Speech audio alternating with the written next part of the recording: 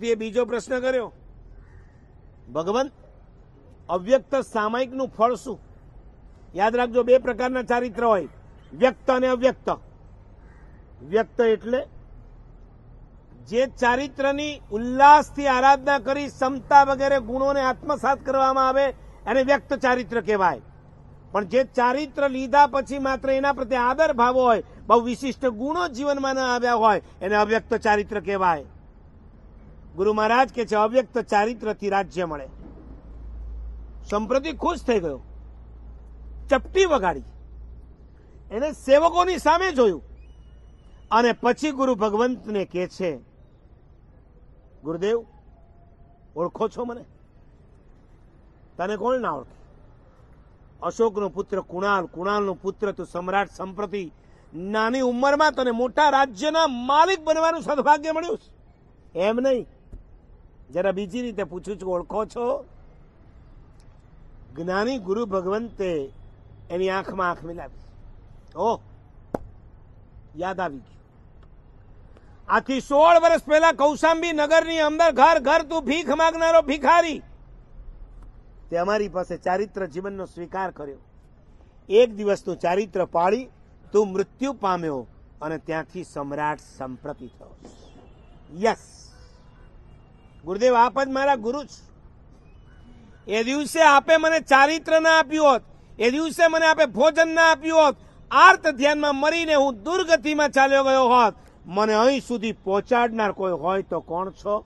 આપ છો આપના પ્રભાવે અહીંયા સુધી પહોંચ્યો છો. આથી આપ મારા ગુરુ છો. મારી એક વિનંતી છે. આપના પ્રભાવે મને આ રાજ્ય મળ્યું છે, તો હવે આ રાજ્યના માલિક આપ છો, હું નહીં. આ રાજ્યના સ્વામી આપ બની જાઓ. હજી ધર્મ જોઈએ તેઓ પામ્યા નથી ને. એને ખબર નથી કે ગુરુ ભગવાન ક્યારે રાજા ના બને એટલે વિનંતી કરે છે, આ રાજ્યના માલિક આપ. ત્યારે સુવસ્તી સુરી શું જવાબ આપે છે?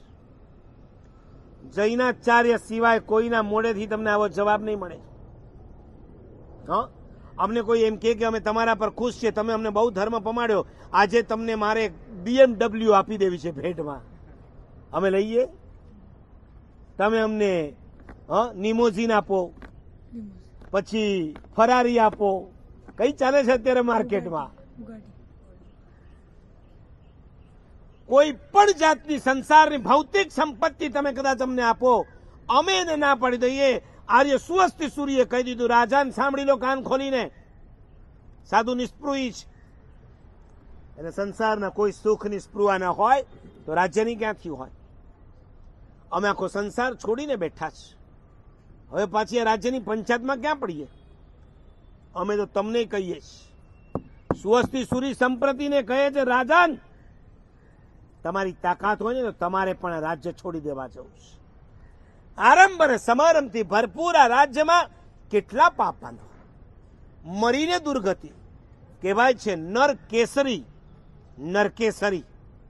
સમજાણું કઈ? નર કેસરી એટલે રાજા, મરીને નરકેસરી. મોટા મોટા રાજાઓ યુદ્ધો વગેરે કરી મરીને ક્યાં જાય? નરકમાં. તાકાત હોય તમે પણ છોડી દો. અમારે આ રાજ્યનો ખપ નથી. આ સાંભળ્યા પછી રાજાએ બે હાથ જોડીને કીધું, મહારાજ, એટલી તો મારી તાકાત નથી કે હું રાજ્ય છોડી દઉં.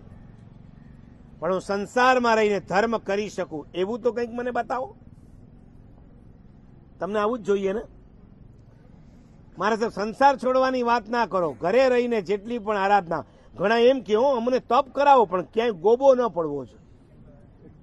ઘણા તો તપ કરે ને, એની પહેલા પણ વજન માપે ને પછી પણ માપે. પછી આપણે પૂછીએ ને, કેવો રહ્યો? બસ આઠ કિલો ઘટ્યું. એટલે આઠ કિલો ઘટ્યા કે તારા આઠ કર્મ ઘટ્યા? તમારા તપની તમે આટલી જ વેલ્યુ કરી કે મારું આઠ કિલો વજન ઘટ્યું, એ તપની ફલશ્રુતિ નથી. મારા આઠ કર્મમાં કડાકો બોલાઈ જાય, આ મારા તપની ફલશ્રુતિ છે. ગુરુ મહારાજને કહે છે કે હું અહીંયા રહીને સારો ધર્મ કરી શકું, એની કોઈક વાત કરો મને. અને મજાની વાત કરી એમણે સમ્યક્તમ નિર્મલમ ધાર્યમ. ચુસ્ત સમકીતી બનજો. પૂજનીયા જીનેશ્વરા, આ એકદમ પ્રાઇમરીનો ધર્મ બતાવી રહ્યા છે ગુરુ મહારાજ. સમ્યક્તમ નિર્મલમ ધાર્યમ, દેવ ગુરુ અને ધર્મ સિવાય બીજા કોઈ દેવી દેવતાને માનવા નહીં. આ સમ્યક્ત્વ છે અને સમકીતીની પહેલી નિશાની સવારે ઉઠીને પહેલું શું કરે? પૂજનીય જીનેશ્વરા, રોજ પરમાત્માની પૂજા કરો. સેવ્યા સુસાધવ કાર્યો. જ્યારે જ્યારે ગુરુ ભગવંતનો સંયોગ મળે, ત્યારે ત્યારે ગુરુ ભગવંતની સેવા કરો. ધર્મો દાનાદિકા સદા અને તમારી જે ઇન્કમ છે, એ ઇન્કમમાંથી તમારી ઈચ્છા હોય, તમારી શક્તિ હોય તમારી તાકાત હોય, એટલો દાન વગેરે ધર્મ કરો. આટલી વાત કરી સંપ્રતિ મહારાજા એને તહત્તી કરી. વંદન કરી, પાછા ગયા. હવેનો રોજનો એમનો કાર્યક્રમ સ્કેડ્યુલ રોજ સવારે ગુરુ મહારાજ પાસે આવવાનું, ધર્મ સાંભળવાનો. આમ દિવસો પસાર થઈ રહ્યા છે અને સંપ્રતિના જીવનમાં અદ્ભુત ચેન્જ આવે છે. સંપ્રતિએ પોતાની લાઈફની અંદર એક તો ત્રિકાળ પરમાત્માની પૂજા ચાલુ કરીશ.